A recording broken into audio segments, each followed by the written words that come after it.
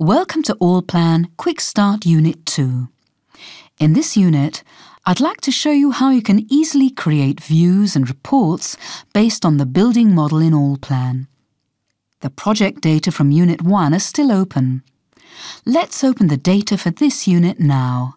Click Open on a project-specific basis and deselect the structural level for Unit 1. Let's take a closer look at the project structure. On the right-hand side of the dialog box, you can see the Derived from Building Structure area.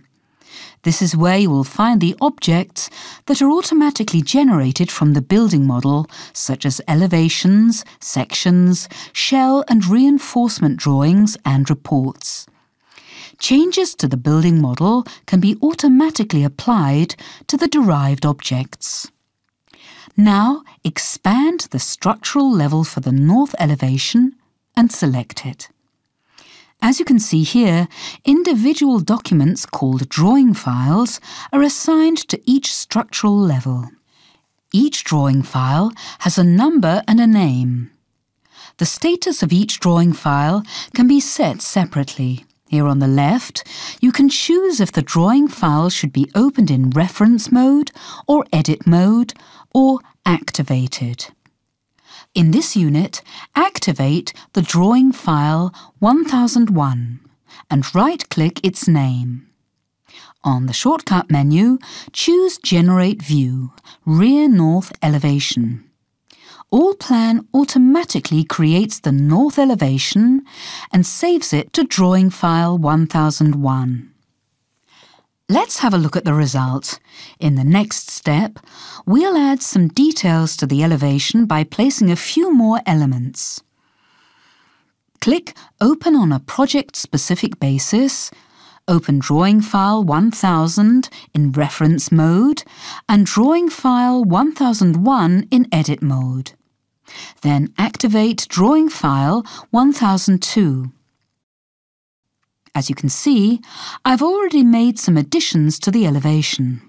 Now let's add another person here. For this, open the Library palette and select the folder symbols, Default, Persons, 2D Persons Vector Graphics Elevation, Leisure.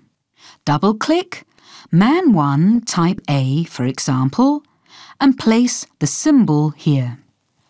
Then press the Escape key to quit the tool. Finished. Besides graphic elements like elevations, you can also automatically generate reports, such as area calculations or room groups from the building model. Let's do that now. Click Open on a project-specific basis to return to the building structure. Down here below Unit 2, Reports, right-click the Room Groups report and select Output Report on the shortcut menu. Allplan automatically generates the report. Finished. The report has four pages. You can now print this file, further process it in Excel, or save it as a PDF. To close the report, simply click Close up here. As you can see, it's really quick and easy to automatically generate views or reports. And if you make changes to the layout, all it takes is a mouse click to update this data. In this way, you can ensure that the data is always current. With Close, you can return to the workspace.